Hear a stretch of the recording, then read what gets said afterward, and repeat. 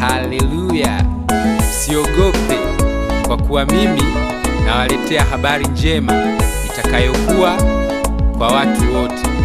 Maana leo katika mji wa Daudi amezaliwa mokozi kwa ajili yenu, na hii ndiyo ishara kwenu, mtamkuta mtoto mchanga amevikwa nguo za kitoto, amelala katika hori la kulia ng'ombe.